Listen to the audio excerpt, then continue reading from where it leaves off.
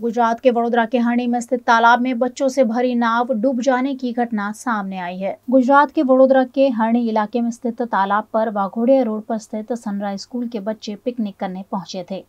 इस दौरान बच्चों द्वारा बोटिंग करने का आनंद लिया गया बोटिंग के दौरान बच्चों से भरी एक नाव हरणी तालाब में पलट गई इस दुर्घटना के चलते लगभग तेईस बच्चे और अध्यापक तालाब में डूब गए दुर्घटना के चलते फायर विभाग की गाड़ियां एम्बुलेंस पुलिस विभाग प्रशासन मौके पर पहुंचे और बच्चों को बचाने की कवायद शुरू की गई नाव की कैपेसिटी से अधिक लोगों को बिठाए जाने से दुर्घटना होने का अंदेशा जताया जा रहा है बचाए गए लोगों को सिविल अस्पताल पहुंचाया गया है डूबे हुए लोगों को बचाने की कवायद की जा रही है અમારું જો પ્રાથમિક માહિતી છે કે 23 બાળકો હતા અને 4 ટીચર હતા સનરાઇઝ સ્કૂલ જો અગ્ગર રોડ ઉપર આવે છે અને આમાંથી લગભગ જો જો અભી ઇન્ફોર્મેશન પ્રાથમિક ઇન્ફોર્મેશન છે કે 11 જેટલા લોકો જો સેફટી અપના જો બેક પેના હતા જો એનાથી બહાર આવી ગયા છે ઓર લગભગ ટોટલ જો કરીબ અલગ અલગ હોસ્પિટલો જો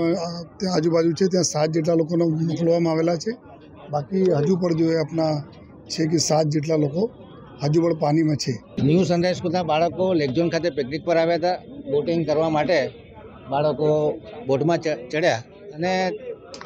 બાળકો જે ખેલકૂદ કરતા હોય એક બાજુ વજન વધી ગયું એના લીધે બોટ ઇમ્બેલેન્સ થઈ એવું પ્રાથમિક પૂછતાછમાં માલુમ પડે છે તમામ બાળકોને લાઈફ જેકેટ પહેરવામાં આવ્યા હતા છતાં બોટ જ્યારે ઊંધી પડી જાય એટલે બોટની જે એજ હોય એમાંથી બાળકો છટકી ના શકે નાના બાળકો હોય ત્રણ ચાર મિનિટ ઓક્સિજન ના મળે તો એમની મુવમેન્ટ બંધ થઈ જાય અને ગંભીર પ્રકારનો બનાવ છે કેટલા બાળકોની સંખ્યા છે હજુ જાણી શકાયું નથી પણ પાંચથી છ બોડી અંદરથી કાઢવામાં આવી છે અને હજુ આપણે કહેવાય કે શોધખોળ ચાલુ છે